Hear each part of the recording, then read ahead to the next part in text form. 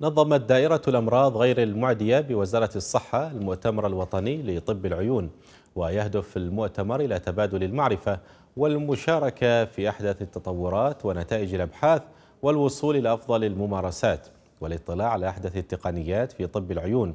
واشتمل المؤتمر على جلسات علمية اختصت بالقرنية والجلوكوما وشبكية العين وجراحات العيون. رعى المؤتمر سعادة الدكتور سعيد بن حارب اللمكي وكيل وزارة الصحة للشؤون الصحية.